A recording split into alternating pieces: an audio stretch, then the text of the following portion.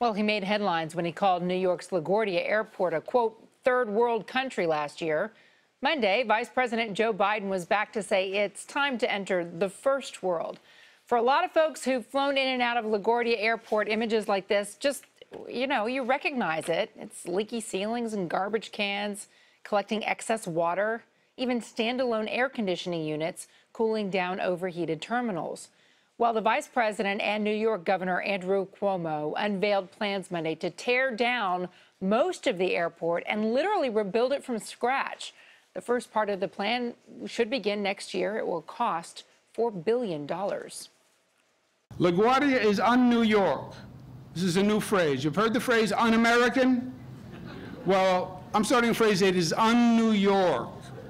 LaGuardia is slow, it's dated, it, has a, it is a terrible front door entranceway to New York.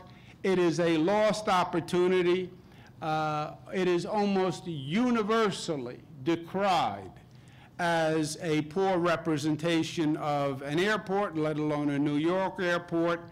You talk to people who went through LaGuardia, you hear all sorts of things.